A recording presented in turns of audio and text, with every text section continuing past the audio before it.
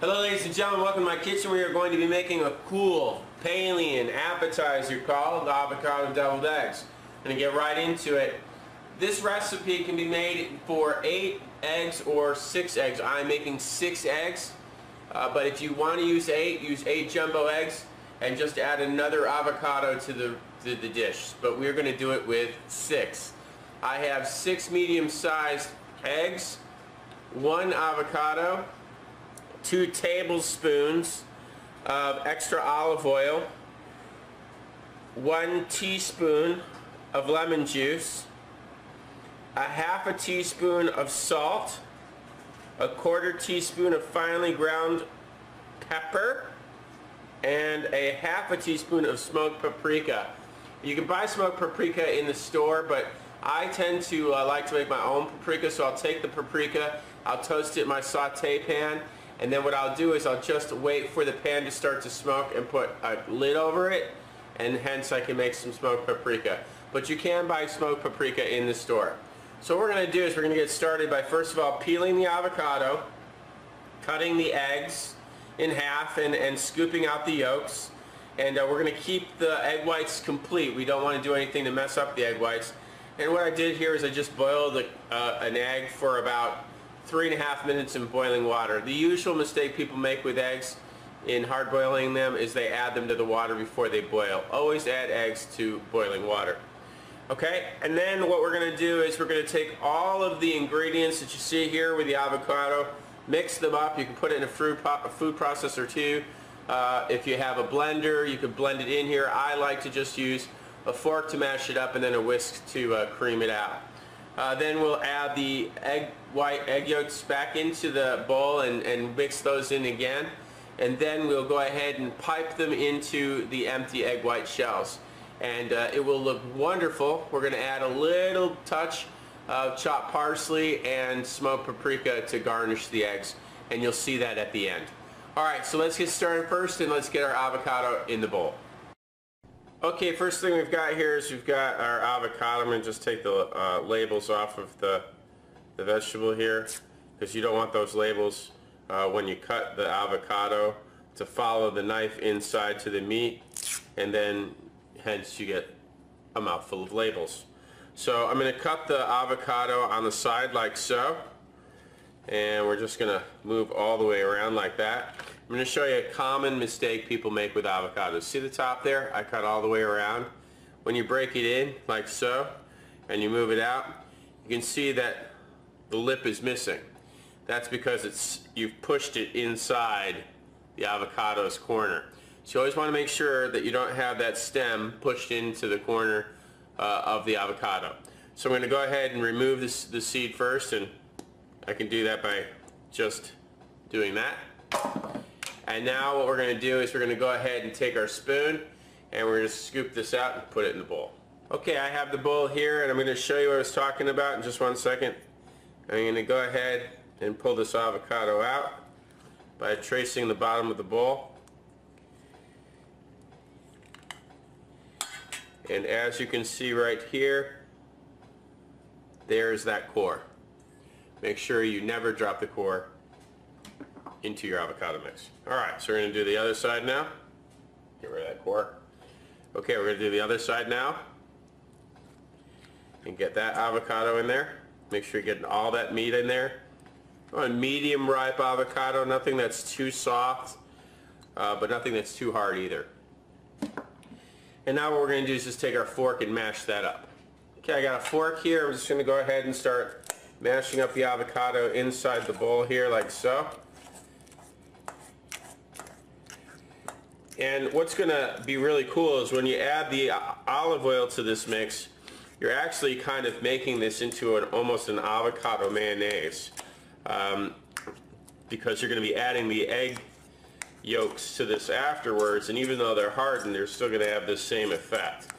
So there we are. We have the avocado mashed up. I'm going to add the salt. I'm going to add the pepper, the lemon juice.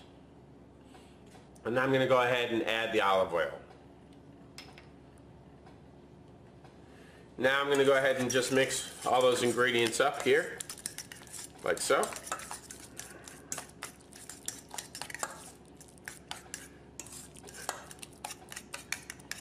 And we're going to put this to one side and then we're going to go ahead and take care of the eggs. Okay, here we have the eggs. Now what we're going to do is we're going to just go ahead and cut the eggs in half making sure we keep the egg whites whole when we cut them. So let's make sure we don't make any mistakes and cut too quickly and break the egg white, okay? Just very smooth cuts down the middle, like so. And in this case, you're going to come up with 12 shells. If you used 8 eggs, you'll come up with 16. Now you're going to take your bowl of avocado mix and you're going to just simply empty the egg yolk into the avocado like so. Again, making sure you're keeping the integrity of the egg white so we can refill it. Now I'm going to do the rest of the eggs. Alright, I have the egg uh, yolks put inside the avocado mixture.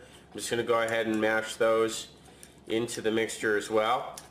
And again, if you have a food processor or a blender, you can do that. I just prefer to do things by hand myself, um, just because it's less cleaning and I have more control over the consistency of how I want, um, you know, the mixture to become. I'm done with the fork. I'm going to go ahead and use a whisk now just so I can whisk it, whisk it up and whip this mix up and make it a lot smoother. And this mix is almost ready for a little bit of piping. Now if you wanted to make this you know a little spicy you could put some chili powder in it or you could put some Tabasco sauce in there. Um, if your Paleo diet of course allowed you to use Tabasco all right, so there we go. We're all done, and of course that looks nothing like it did just a moment ago. Uh, I'm going to go ahead and put this in a piping bag.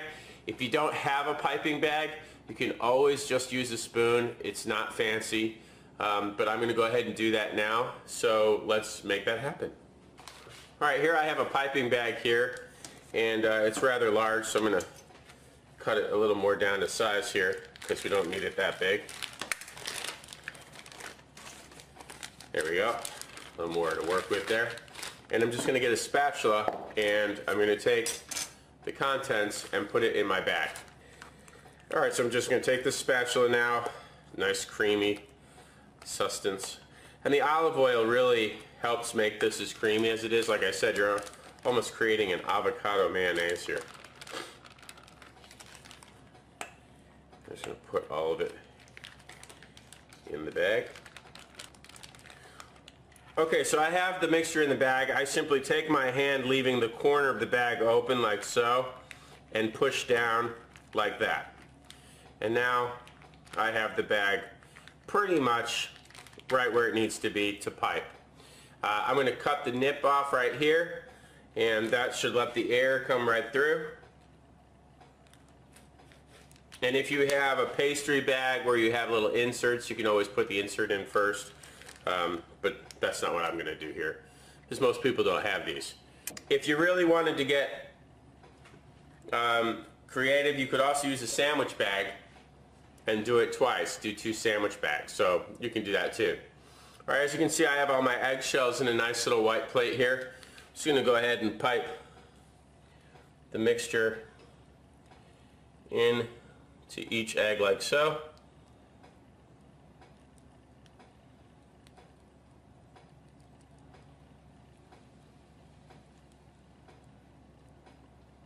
And you don't want to fill them up too much because if you do, you may not have enough to, to go towards the end. So just make sure you filled all of them first. Now as you can see, I have more than enough. Now I can start topping stuff off. Making it look really cool. Okay, so now what we're going to do is we're going to finish this off by making this look really cool. And when I, I'll get to that in a second, but I just want to show you something when you have this much left, you could use this for a number of things. Use it for a salad. Uh, you could use it on a steak. Uh, you could use it with some chicken and sprinkle some uh, diced tomatoes. Keep this in your refrigerator. It'll last for at least three days. You got lemon juice in it, so it'll work. Don't throw it out. Keep it in, uh, keep it in your refrigerator for other uses.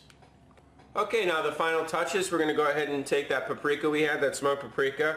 We'll just take a little sprinkle and put it on each one of the eggs like that. Try not to get it on the white part of the egg, just on the green. green, get it? Usually this is supposed to be yellow, but today it's green. Okay? And it just looks so dramatic doing that. And smoked paprika really just has a great flavor. Then here I have some uh, parsley. I'm just going to hit each egg with a little bit of parsley, like so. And this is okay. If you get the parsley on the white, that's fine. And there you have it, ladies and gentlemen. You have avocado deviled eggs. And remember to add the lemon juice to the recipe because the lemon juice will help preserve this. So for whatever reason, if you don't eat all of these in one day, the avocado won't go brown and you'll be able to serve these the next day. Tend to have 24 to 48 hour shelf life. Make sure you cover it. And bon appetit.